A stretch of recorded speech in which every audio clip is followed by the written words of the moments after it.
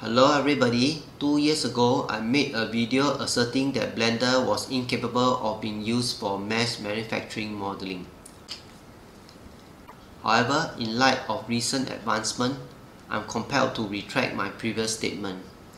In this new video, I will showcase how Blender with the aid of specific add-on and processors can indeed be utilized for creating potentially manufacturable models.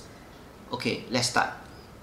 Basically, Blender's inability to support mass manufacturing was primarily attributed to the absence of NURBS-based export options such as STEPS and IGS formats. Fortunately, this limitation can now be overcome by installing the Export IGS add-on, of which its download page is being shown on screen now. You can refer to the link below this video to go to this page.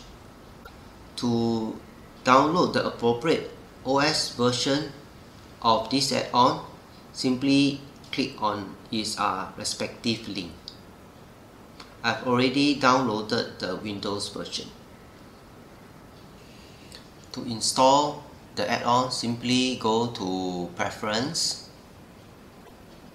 click on Install, and then navigate to where you have downloaded the add-on.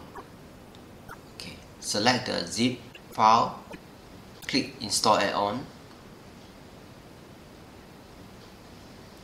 and enable it by clicking on the tick sign and that's it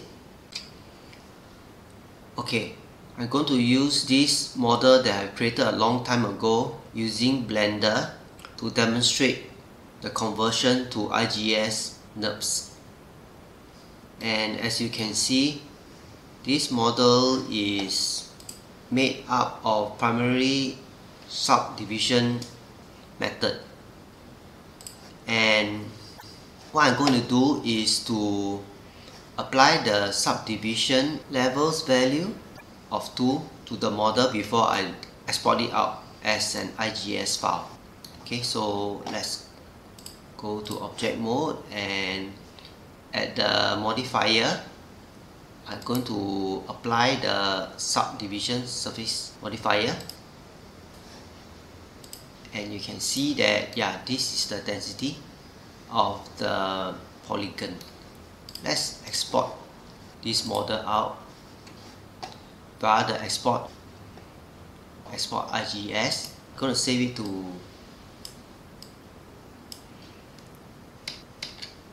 video cam IGS okay export IGS and now let's head over to Rhino and bring in the file.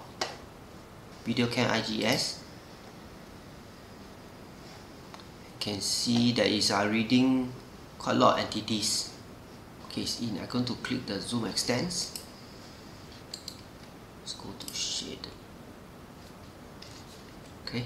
You can see that uh, the model is pretty dense and let's just select one of the piece of the part.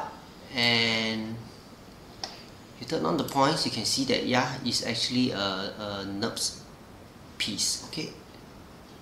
The individual pieces are actually NURBS. Okay. Uh, let me just confirm this by typing the what command. And then select this to display its property.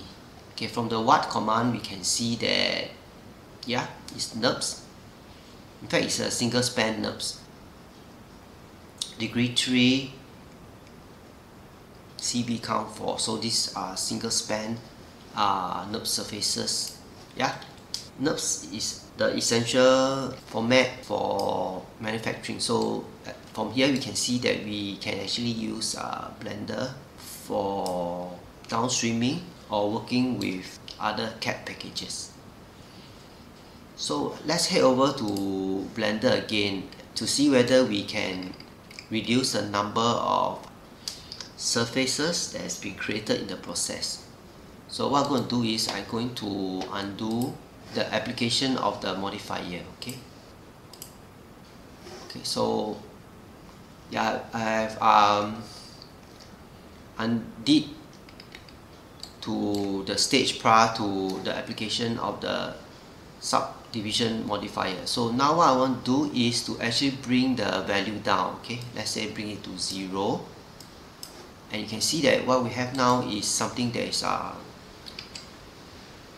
blockish okay?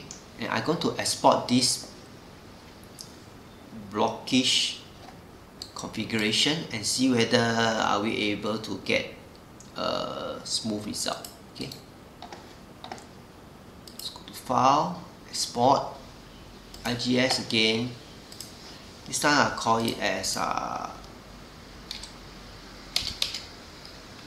low resolution okay low res okay and let's import again import this video cam low res and you can see that yeah we have a lower res version being brought in. So depending on the situation you might want to actually change the levels value of the subdivision modifier. So I reckon we may not even need to have something so dense. A less dense model might just do the trick. Okay, let's just go to analyze surface zebra to check the surface quality. And you can see yes generally the connectivity of the individual pieces are set to curvature. Okay nice smooth blends. Okay so um, it might be ideal for nice smooth output. However there are some discontinuity as you can see over here. And let me turn off this. And that will pertain to those areas where there is a multi-sided convergence of surfaces. Okay. So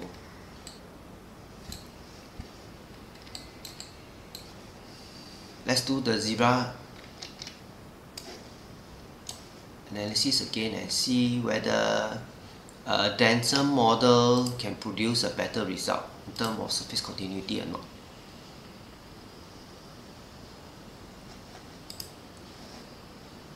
Okay appears that the denser model seems to have better continuity.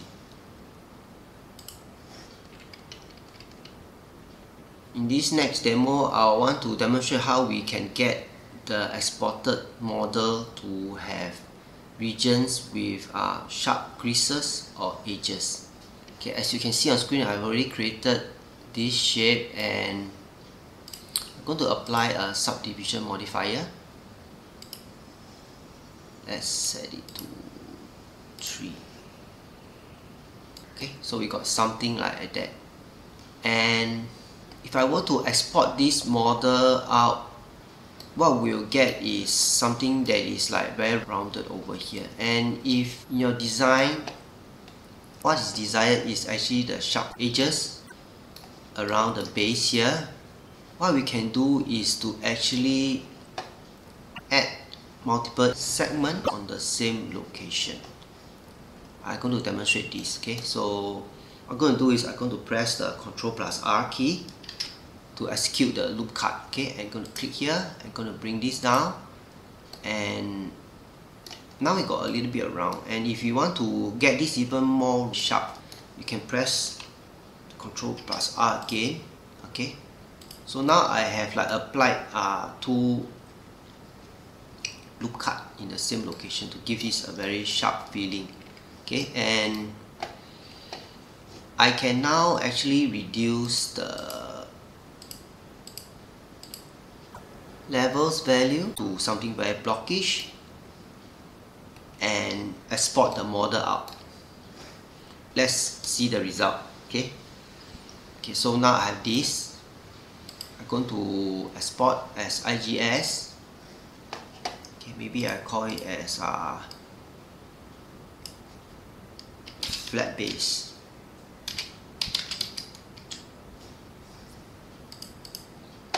okay and now head over to Rhino go to file import flat base. Zoom extents okay. Yeah. You can see now we have a model with a very flat base.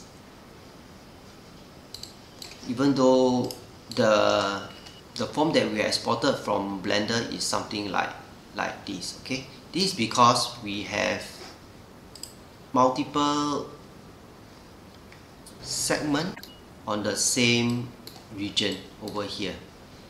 So this has resulted in the creation of a model with a crease or a flat base in this case here. With that I come to the end of this uh, demo. Hope that's been useful. See you. Bye